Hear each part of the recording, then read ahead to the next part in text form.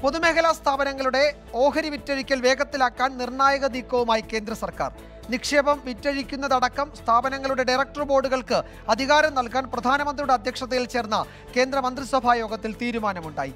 പെട്ടെന്ന് തീരുമാനങ്ങൾ എടുക്കാനും പ്രവർത്തനങ്ങൾ നവീകരിക്കാനും ലക്ഷ്യം വെച്ചാണ് നടപടിയെന്നാണ് കേന്ദ്ര സർക്കാരിന്റെ വിശദീകരണം.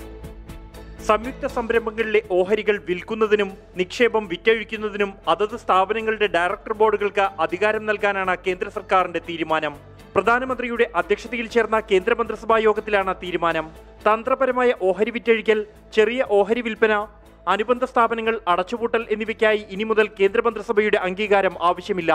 മഹാരത്ന സ്ഥാപനങ്ങളുടെ ഓഹരി വിൽപ്പന ഒഴികെയുള്ള വിൽപ്പനകൾ അടച്ചുപൂട്ടലുകൾ എന്നിവയ്ക്ക് തത്വത്തിൽ അംഗീകാരം നൽകുന്നതിനുള്ള ബദൽ സംവിധാനവും ഉടൻ നിലവിൽ വരും.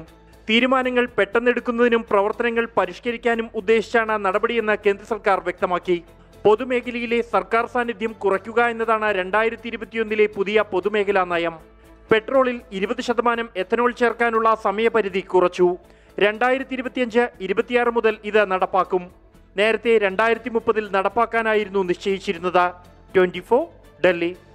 ലോകത്തെവിടെയായാലും ഏത് സമയത്തും ട്വന്റി ഫോർ വാർത്തകളും ഓഗ്മെന്റഡ് റിയാലിറ്റി പാക്കേജുകളും എക്സ്പ്ലെയിനറുകളും വിശദമായി കാണാൻ ഞങ്ങളുടെ യൂട്യൂബ് ചാനൽ നിങ്ങൾക്ക് സബ്സ്ക്രൈബ് ചെയ്യാം.